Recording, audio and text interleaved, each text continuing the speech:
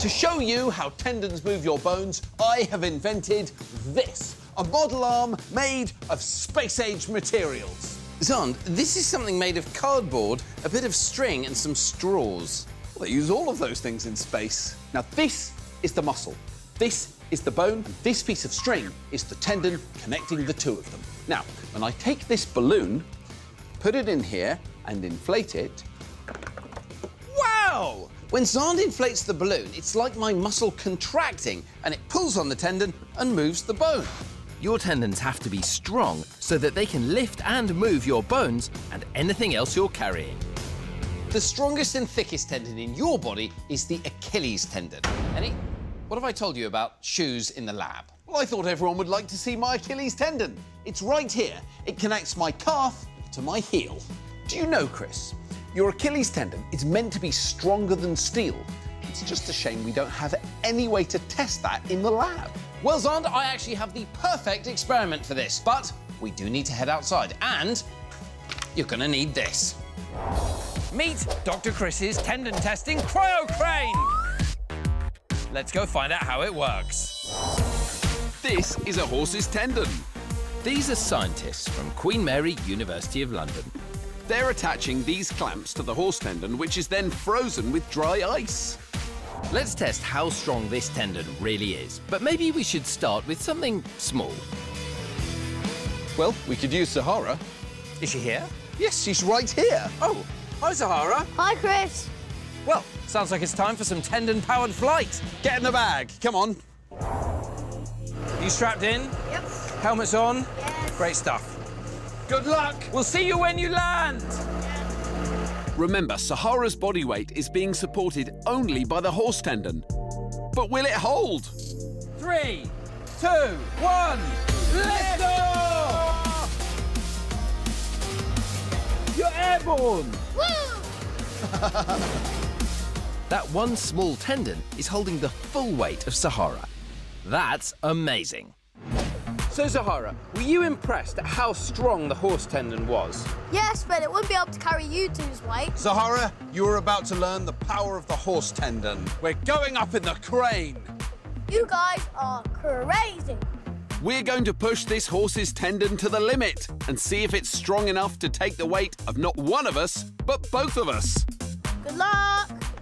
Three, two, one, lift off! We're incredible! The only thing holding us up is a horse tendon!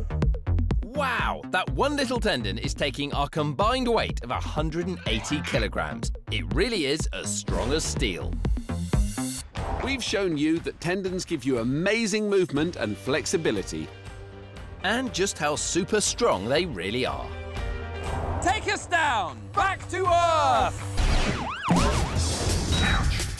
Chris, quick! Someone's having a medical emergency! And which hospital department do you suppose we should go and find them in, Xand? The toilets? The emergency department! Let's go. Over in Alder Hey Emergency Department, it's 10-year-old Leona, her mum, and a painful-looking pin. My leg's got a big cut on it. How did that happen? I tripped over. Oh no! Let's go back to the beginning. Leona was in the living room doing her homework. Was it a cool science experiment testing what happens if you set fire to an enormous balloon full of hydrogen? Uh, no, Zara, that would be far too dangerous. Oh. Was Leona doing a French assignment? De fromage! No, it's not her French homework. History! Was she learning about Queen Victoria? Zara, what did I just tell you?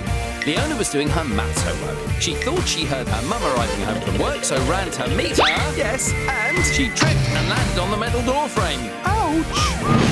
I hope the doctor can fix my leg. Ready to take on Leona's leg challenge is Dr. Victoria Westwood. Well, what we'll do, I'll put some gloves on, see what we're dealing with. Get ready for a really icky gross alert. Ooh, that looks sore. Unfortunately, it's a bit too deep, so it has to be stitches. I've never had stitches before. Don't worry, Leona. Thanks to an injection of local anaesthetic, you won't feel a thing. I'm going to be brave. That's the attitude. Hope you're not squeamish. here's an even grosser alert. Dr. Victoria injects the pain relief straight into the cut. So you might feel a little bit of a sting. Wow, Leona really is brave. What do you reckon she's thinking about, Chris? No idea. I reckon she's probably dreaming of a sunny beach and ice cream and lots of bouncing bunny rabbits. Mm, maybe. Once her knee is numb, it's time to clean that cut. Very brave. And here's one last uber mega gross alert as Dr. Victoria gets stitching.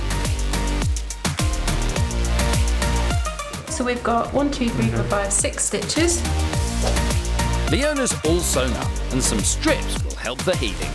And these stitches will have to stay in for probably about 10 days mhm. because it's quite near a joint, so there'll be lots of movement around there. It takes a little bit longer to heal to get that strength back in the skin.